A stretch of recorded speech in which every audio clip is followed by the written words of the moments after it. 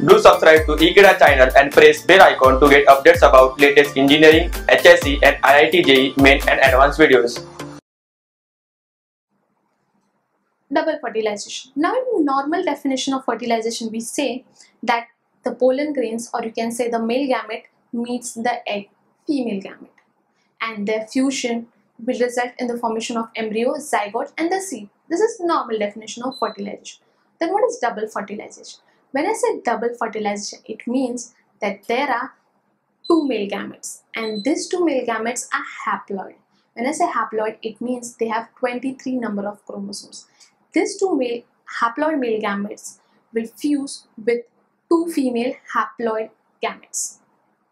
During the process of double fertilization, what happens is there are two male gametes which are haploid and one of the haploid male gametes fuses with the egg which forms the zygote or you can see the seed and another haploid male gamete or pollen grain fuses with the prime polar nucleus and when it fuses with the polar nucleus it forms primary endosperm and this primary endosperm is nothing but the seed coat which you see in seeds which provides nourishment to the growing embryo.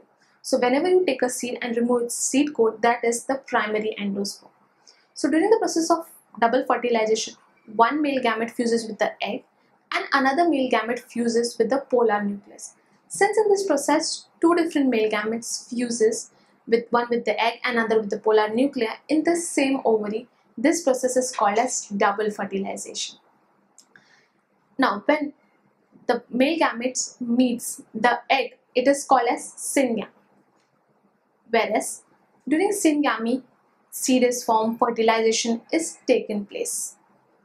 Whereas when two polar nucleus meets one male gamete.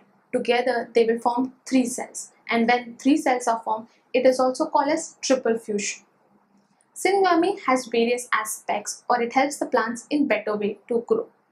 Whereas triple fusion helps to provide triple endosperm and this endosperm is nothing but provide nourishment to the growing embryo.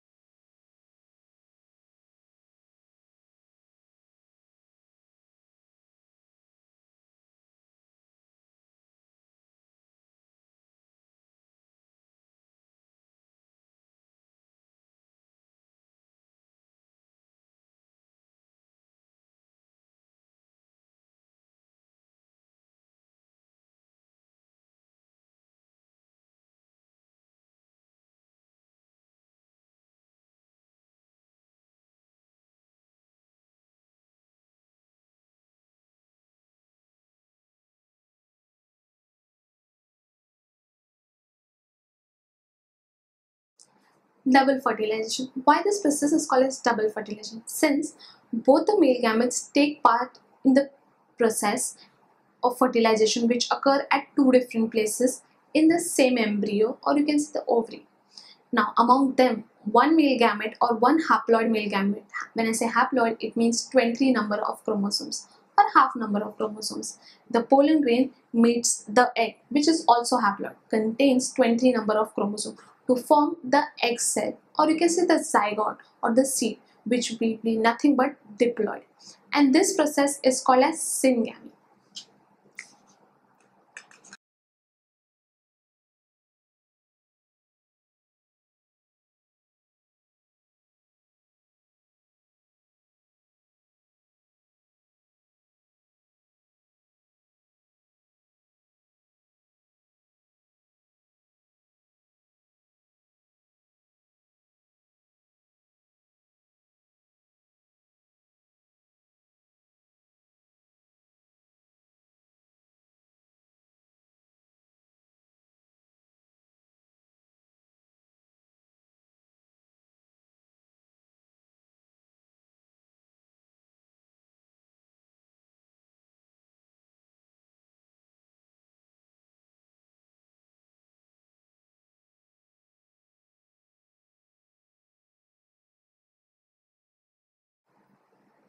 During double fertilization, one male gamete fuses with the egg to form zygote or you can say the seed, whereas the second male gamete fuses with the two polar nucleus. So together there will be three cells or three different nucleus to form a triploid primary endosperm.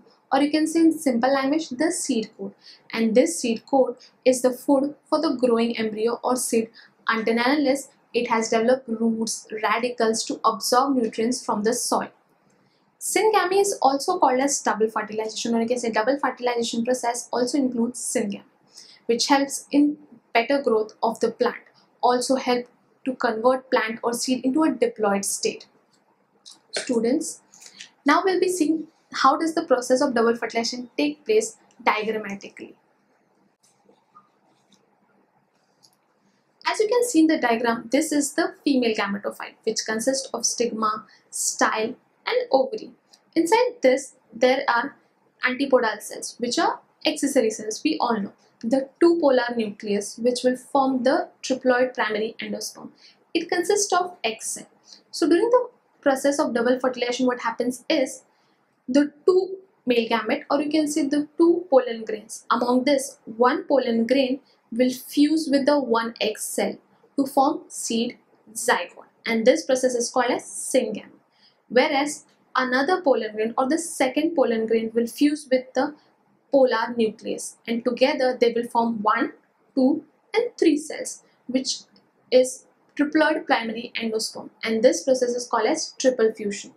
In simple language, we can say that syngamy plus triple fusion is equal to double fertilization, which will help to form a seed.